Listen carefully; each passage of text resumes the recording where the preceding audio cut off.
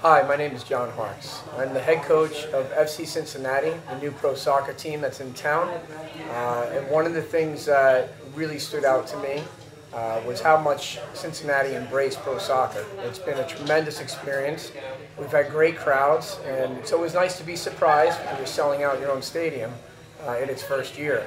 Uh, we're also getting good results. And speaking of big surprises and results, is 18-8.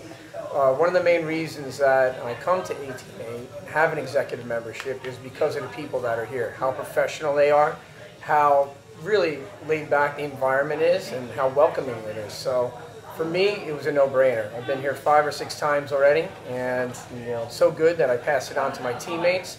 Uh, we've got a great relationship here with, with everybody uh, in 18-8. And now our players and their teammates all come here. So they love it. Uh, they enjoy the services, the room services, and we're really happy to be part of this relationship.